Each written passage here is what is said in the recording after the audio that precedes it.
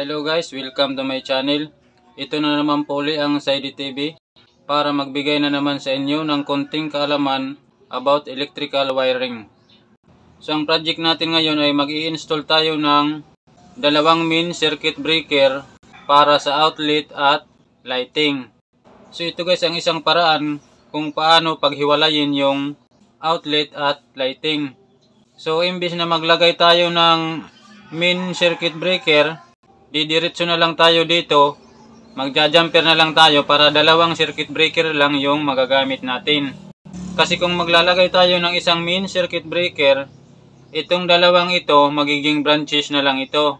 So ang ginawa natin para iwas tipid sa materyales, sa gastos, dalawang circuit breaker lang yung gagamitin natin sa outlet at lighting tapos jajumperan na lang natin sila na yung magiging main circuit breaker. Ang supply natin dito ay line to neutral. Kasi dito sa probinsya namin, line to ground system ang gamit dito. Pero kung halimbawa, kagaya dyan sa syudad sa inyo, ang ginagamit dyan ay line to line connection, parehas lang yung pag-wiring yan. Ang magkakaiba lang dyan, yung power source. So, umpisa na natin guys yung project natin. So, ito guys yung supply natin. Itong puti, ito yung neutral, itong itim, ito naman yung live.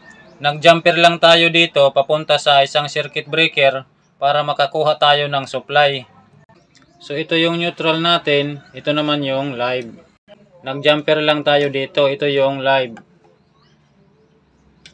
So ganun lang guys yung pag-jumper ng power supply. Dito naman sa wire guys, number 10 na yung gagamitin natin. Kasi isang 20 amperes at isang 15 amperes magiging 35 amperes na sila. So number 10 na yung gagamitin natin na wire. Pero pagdating dito sa load side, ganun pa rin. Sa outlet, 20 amperes na circuit breaker tapos 3.5 na wire. Sa lighting naman, 15 amperes na breaker, 2.0 na wire. Sa load side yan. Pagdating sa line side natin, magiging dalawang circuit breaker na sila 35 amperes. So number 10 na yung gagamitin natin. Number 10 na wire.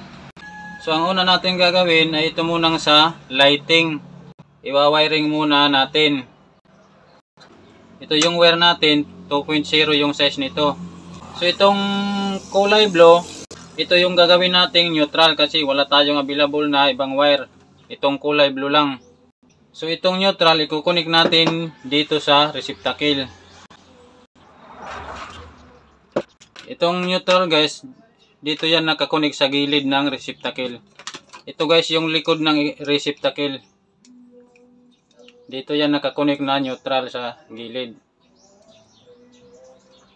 Yan. Tapos ang sunod, itong live. Dito natin yan ikukunik sa switch. Itong isang wire. Ang switch guys, ito yung likod niya. Dalawang wire lang yan. Live, return. So itong return guys, dito rin ito dito natin ito kukunik papunta na sa receptacle. So ganun lang guys kasimple yung wiring connection sa ilaw. Tapos ikukunik na natin yung wire sa circuit breaker. Unahin natin itong live. Sunod itong neutral.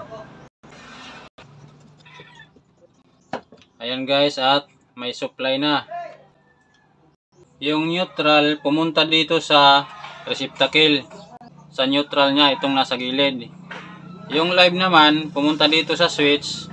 Pumasok dito. Paglabas doon sa return niya pumunta rin uli sa receptacle. So lagyan natin ng tape.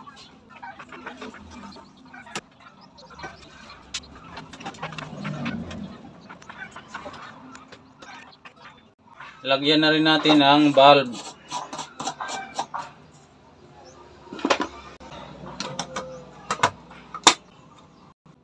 Ang sunod dito naman tayo sa outlet. Ito guys yung outlet natin nilagyan ko na ng wire. Yan naka jumper lang yan dito sa kabila ito naman yung supply natin neutral lang puti live ang dilaw so ipapasok natin dito una nating i-connect ang live itong dilaw.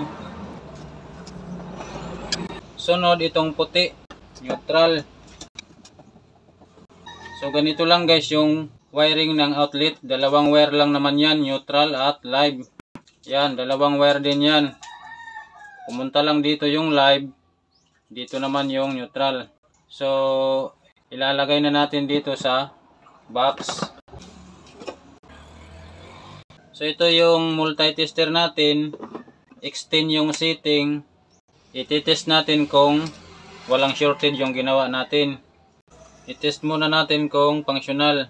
Ayan, functional naman. So unahin natin yung outlet. Dito lang natin ilalagay sa magkabilang dulo ng wire. So ayan guys. Walang resistance. Ibig sabihin walang shorted. Dito naman tayo sa lighting dito lang din natin ilalagay ayan guys wala ring resistance ibig sabihin walang shorted i-on natin wala pa rin so okay yung ginawa natin so ang gagawin natin guys ay papailawin na lang natin to kung functional yung gawa natin so i-on natin yung circuit breaker test natin tong sa ilaw.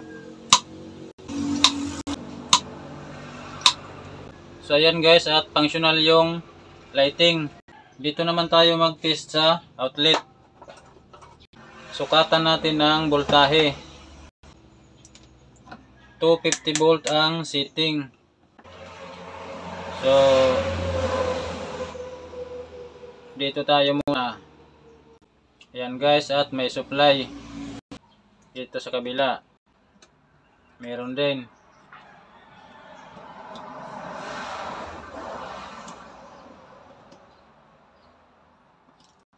so ayan guys at functional yung gawa natin